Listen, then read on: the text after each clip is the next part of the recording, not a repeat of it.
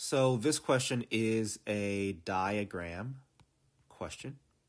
We have a graph here, a linear graph provided for us. There's no labels for x or y axis. So let's read this and figure out, well, what is this graph showing us?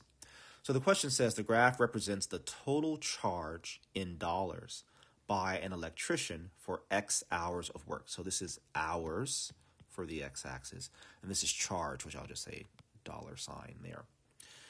The electrician charges a one time fee plus an hourly rate. So I'm going to say the one time fee must represent the y intercept here, which is why this line starts up here instead of at 0, 0, because basically before the electrician even begins to work, before there are any hours of work, there's already going to be some type of charge. So there's my one time fee, whatever that dollar amount is.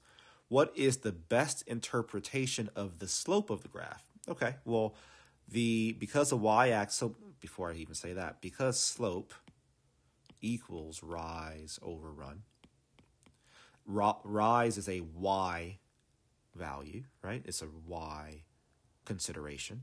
And for our y-axis, we have the rate. So this is the rate or the cost, I could say. Let's say cost.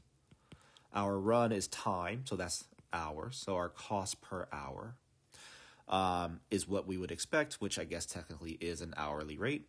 So looking at the answer choices, choice A says the electrician's hourly rate. I like that as an answer. Choice B, the electrician's one-time fee. No, that would be the y-intercept. That's the one-time fee right there. Choice C, the maximum amount that the electrician charges. Definitely not, right? The maximum amount is not a part of this graph, so that's gone.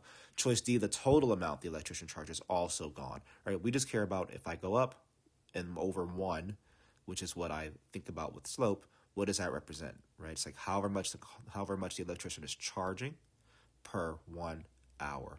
My rise is the charge, my run is the hour. So that's the rate. So the answer is choice A here.